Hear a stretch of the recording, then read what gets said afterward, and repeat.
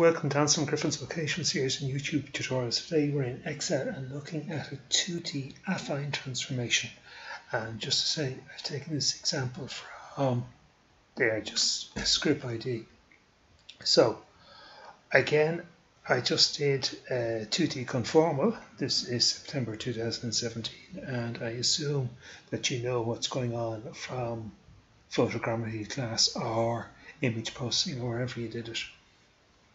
So I see, you know, the basic concept. So we have this example here. Just get rid of that. And for the affine here, there are six parameters. There's a translation in x, translation in y, two rotations. So you can rotate x, you can rotate y, and you can scale x and scale y. So they are the six parameters. So there's the example. So we want to rotate. What are the rotation and scales for the x, y, in 1, 2, 3, 4, and they're the known values. And as an exercise for yourselves, you're supposed to work out where those points would go. So how do you set up the matrix? Well, slow down there. That's the general setup there. So it's x1, y1, 1, 0, 0, 0.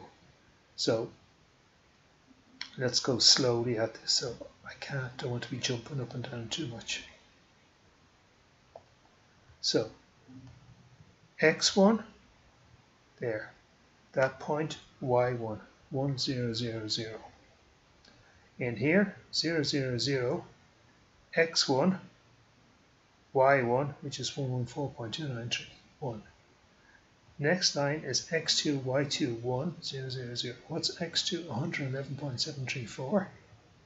What's y2? 114.293, 1, 0, 0, 0.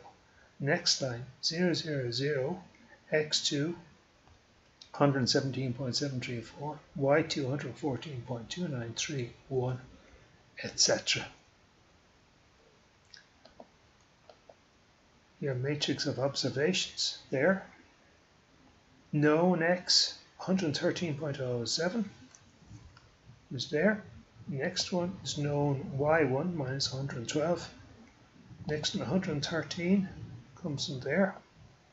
Next one, 112.989 comes from there. Next one, 100 minus 100, uh, sorry, minus 112.997 comes from there, etc. I'm not going to go through it literally step by step because I've done that already for the conformal. And remember the general solution, if I just find it here a second, is a transpose A inverse by A transpose L. So this I've done already. If you want to see how I did this, you'd want to look up the conformal example. So there's the matrix A.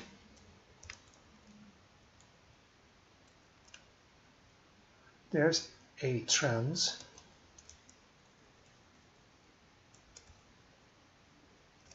And a transpose A. So remember, A transpose is a 6 by 6 and A is a 6 by 6. Sorry, just check that again. 3, 4, 5, 6, 7, 8. Sorry, it's an 8. A transpose is a 6 by 8 and A is an 8 by 6. So it's A trans is a 6 by 8 and A is an 8 by 6. So a 6 by 8 by an 8 by 6 is a 6 by 6. So there's A transpose A. Next thing you want to do is get the inverse of A transpose A. Uh, and that's the, the inverse of a 6 by 6, which itself is a 6 by 6.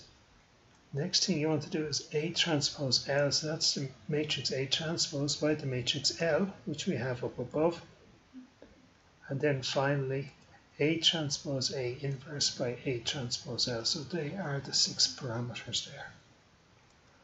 And I'm going to leave that we were there. We've got the solutions there. There's the six parameters. And as an exercise, I'm going to leave that for the students to work out the known x and the known y for points A and B. Hope that wasn't too quick and thanks very much for listening.